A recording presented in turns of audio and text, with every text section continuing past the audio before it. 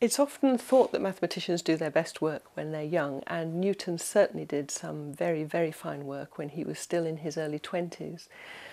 Uh, during the 1670s, he put mathematics aside really for about 10 years, and not because he was any less able to do it, but because his interests had moved elsewhere, I think. He spent those years really working on alchemy and theology, and those became his overriding interests until in the 1680s he came back to some of his earlier interests uh, through thinking about problems of gravitation and the work that eventually then led into the Principia.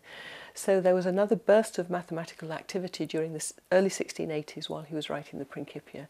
And that was certainly no less creative or powerful than the work he'd done in the 1660s. I mean, that was magnificent work by any standards. And of course, that's the work that really made Newton's name at the time because the calculus wasn't then known. After that, he continued to do mathematics, but during the 1690s, he gradually stopped, and in fact, he moved to the Mint during the 1690s and moved out of Cambridge and began to be a man of the world rather than a man of Cambridge University and Lucasian Professor of Mathematics.